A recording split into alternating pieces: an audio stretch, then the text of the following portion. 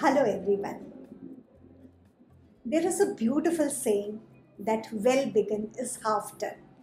Today, we are going to talk about this saying in our surgical day to day practice. I always teach my students whatever surgery you are doing, may it be an abdominal procedure or vaginal or lap, always give two minutes for your planning because it will change the outcome you will see it.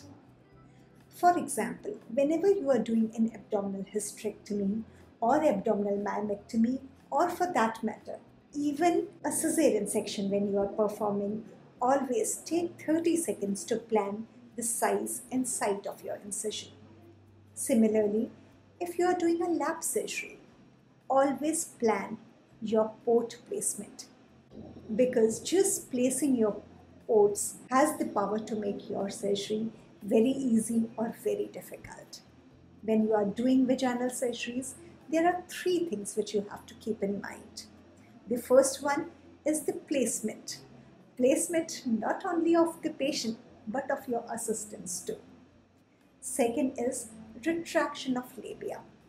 Now the anatomy is somehow like this that vaginal surgery is the opening where we want to perform our surgical procedure that is covered with two flaps of labia on either side. What we have to do is that we have to take these two folds and retract those so that the surgery becomes easy for us. You would have seen in many videos fancy ring retractors which people use.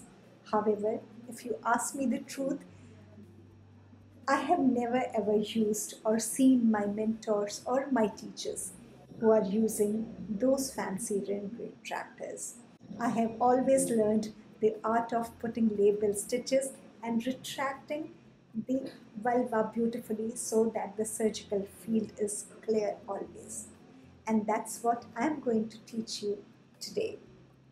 The third thing is making a proper diagnosis.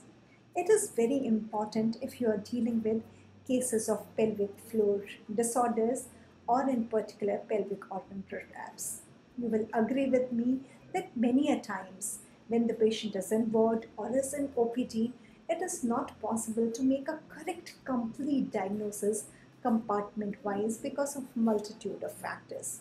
Always do it once your patient is positioned well and anesthetized so that you can plan the steps of your surgeries because once you start performing the surgeries the anatomy gets distorted and then later if you think I'll see it later it is not always possible to get the exact idea.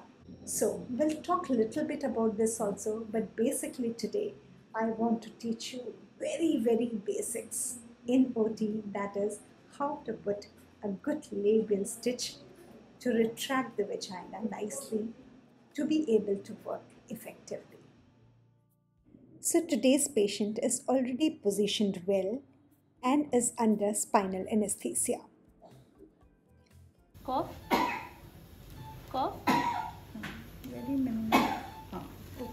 This is what we say that checking for stress incontinence in OT. We fill the bladder with the help of a Foley's catheter with 200 ml of saline and ask her to cough and check for the leak. So, this particular patient has a mild to moderate kind of leaking as per our severity grading system because out of the four coughs, she leaked only in one for the labial stitch, we use number one silk suture. First, take a bite from the most prominent part of the labia minora. The second bite from the incision near the groin fold, and third bite it is from the drape. Now, when you are putting the knot, it is very important that pull all the sutures to the lateral aspect and put the knot there. If you do it opposite, then the drape will be pulled towards the vagina rather than pulling the vulva towards the drape or towards the lateral aspect of it. See it again. The other side, how you will do because that becomes easy for the people, right handed people. Take a bite from the drape, Take a thick bite from the skin near the vulva. This is important. Otherwise, the drape won't remain fixed and will keep on getting pulled towards the surgical site. And the third and the final bite on this side is from the most prominent part in the vulva or in the labia minora. Again, put the knots towards the lateral aspect. Pull everything laterally and then put the knot towards the lateral aspect. Now the third bite is for the posterior retraction. Take a thick bite from the tissue in the area of the fourchette and then take the bite from the drape. Here three bites are not required, two are enough. And again, as told before, put the knot away, pull the suture and put the knot away from the site of surgery. Now, in most of the cases, these three labial bites are enough to retract the vagina well. But in cases like this, especially when the patient is very hefty, you will feel that this retraction could be done a little bit better by putting two more stitches. So, rarely we put five stitches or two extra stitches to retract the vulva.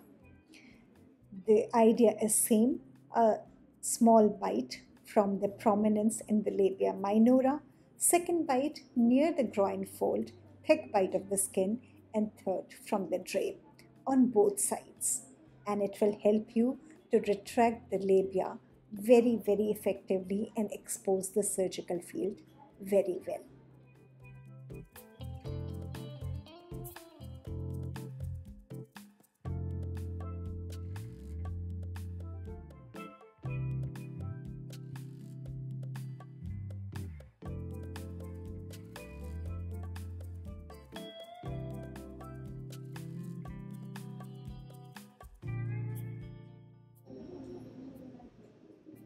So once you have put these retraction sutures, the next thing is to make the correct diagnosis.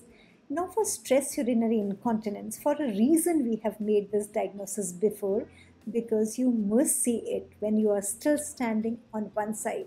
Once you are sitting in position in front of the vagina of the patient, it is not a good idea to ask her to cough and check for stress incontinence.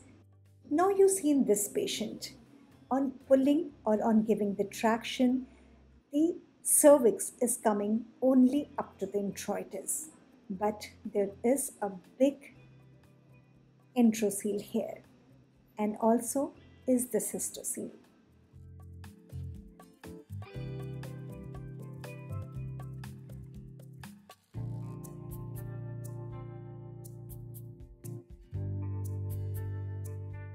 Today, I don't want to show you the entire surgery for this particular patient because the idea is to introduce you a little with the pre-operative preparation and pre-operative diagnosis of the patient. If that is done, it will take you a long way. So let's learn bit by bit. And this was today's bit. I don't know whether you felt it was very simple or all of you knew it or were doing it routinely, but I thought it was my duty to tell you each and everything which I feel is important and can change the outcome of the session. Thank you.